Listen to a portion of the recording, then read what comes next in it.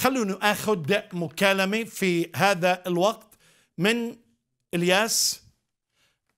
أهلا وسهلا أخ إلياس من من لبنان. تفضل أخ إلياس أنت معنا على الهواء سلام المسيح عسيس نزار. ربي يباركك ويبارك خدمتك.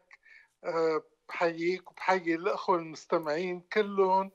أه، يلي عم بيسمعونا والرب يكون معكم.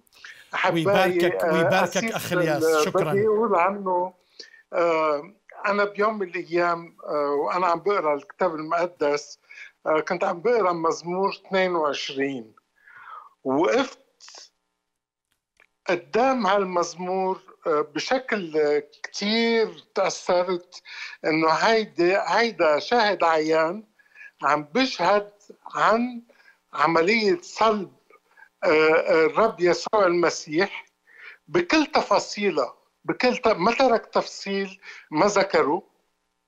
والشيء العظيم اللي لقيته إنه المزمور انكتب تقريبا ألف سنة قبل عملية الصلب نعم. وقت يلي الصلب ما كان آه، معروف لأن الصلب كان عملية آه، إعدام رومانية. وما كان معروف بوقتها. يعني آه، هيدي هيدا هيدي نبوءة كثير قوية غير ال 360 نبوءة الموجودة بالعهد القديم. بس كمان في ملاحظة صغيرة بدي بدي أذكرها إنه آه، آه، بالقرآن بيذكر عن آه، إبراهيم وقت وقت اللي الله طلب منه يذبح ابنه. الشيء اللي قاله مذكور إنه وفديناه بذبح عظيم. يعني فداء الإنسان هل هو الذبح العظيم؟ طيب أنا إذا كنت غني وعندي قطيع غنم بذبحهم تكفر عن خطاياي يعني هيدي علامة استفهام كبيرة آه، بحطها.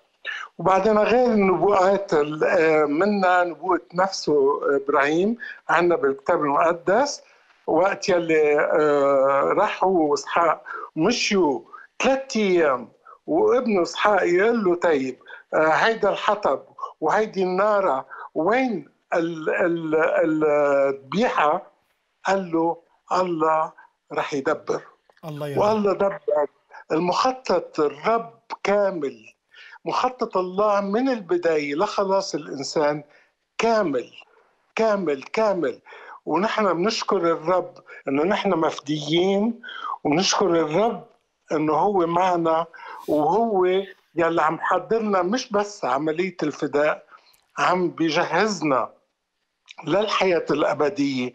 وهيدي نعمة كبيرة. وأنا بتشكرك كثير قسيس على الرسالة اليوم. ربنا يباركك يا أخي الياس وشكرا جزيلا لك وعلى كلماتك المشجعة وعلى الحق الكتابي اللي ذكرته.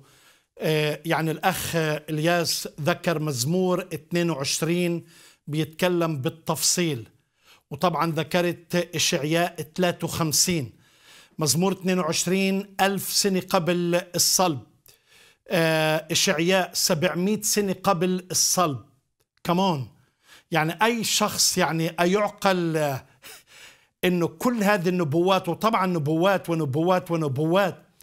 آه، على فكرة جرب تقرأ مزمور 22 وإشعياء 53 حتى تتوضح هذه الصورة.